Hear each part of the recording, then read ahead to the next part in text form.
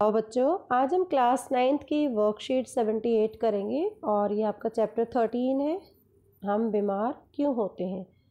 आज हम करेंगे निवारण के सिद्धांत मतलब ट्रीटमेंट कैसे किया जाए और किस आधार पर किया जाए। तो जैसे हम रोगों से ग्रस्त होने से कैसे बच सकते हैं, रोग हमें अलग अलग तरह से प्रभावित करते हैं। इसलिए कहा जाता है कि रोगों का निवारण उपचार से अच्छा है। मतलब रोग आने ही ना दे शरीर में।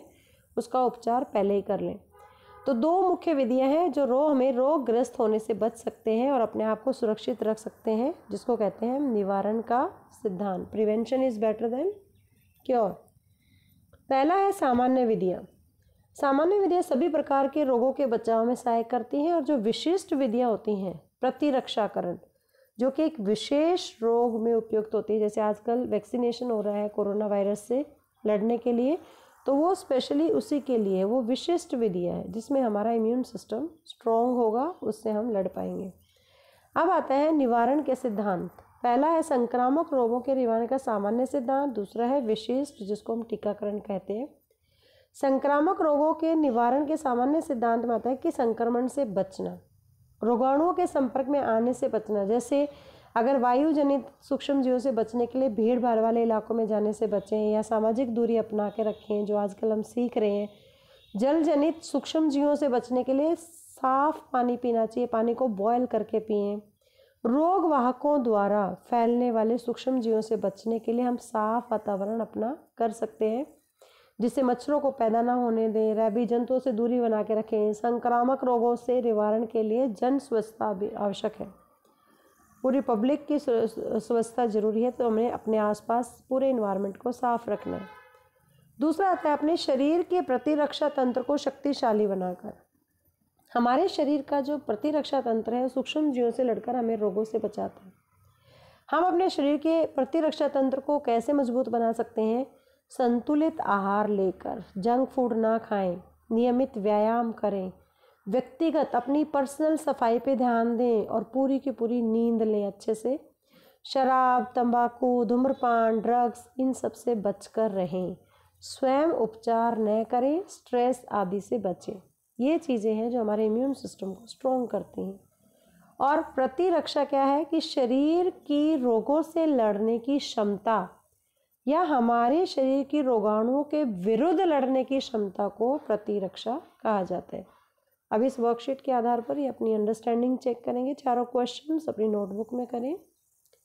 Now the time for the English medium students and today's worksheet is worksheet seventy eight for the class ninth and we are going to discuss chapter thirteen why do we fall ill and today we are going to discuss principle of prevention why we always say prevention is better than cure because we have to save our self from many diseases so Diseases harm our body in several ways, so it is rightly said prevention is better than cure, and there are the two basic ways by which we can prevent disease and save ourselves from the diseases. These are known as principle of prevention. The first one is general ways of prevention. These are applicable only for prevention of all kinds of disease.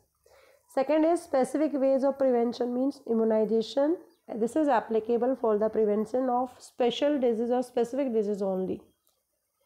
As we have studied that there are so many infectious diseases, then principle of to prevent infectious disease, first one is prevention of infection. First, prevent exposure to infectious disease. For example, airborne microbes can be prevented by prevention of exposure to the overcrowded places or by social distancing. That is also the two types of the preventions are here in the coronavirus that we have to be avoid overcrowded places as well. Wear warm mask and keep social distancing. Second is waterborne disease can be prevented by providing safe drinking water. Third vector-borne microbes can be prevented by providing clean environment stop mosquito breeding and distancing from rapid animal, animals. Or we can say the public hygiene is essential for prevention of infectious disease because most of the toilets also the cause of the infections because overcrowded uh, many people use these places and uh, they may be the infectious person and they spread to the healthy person also and to strengthen the immune system of the body. What is immune system? Normally fighting off the microbes or to strengthen the immune or immune system following can be done. You have to take balanced diet avoid junk foods regular exercise keep personal hygiene and the sound sleep say no to alcohol smoking and tobacco or drugs. Keep hydrated yourself. Avoid self medication and stress. Now what is immunity the resistance power or ability of the body to defend itself against the pathogens. That is called immunity. Now you have to check your understanding by doing these questions in your notebook. Keep watching super vigyan thank you so much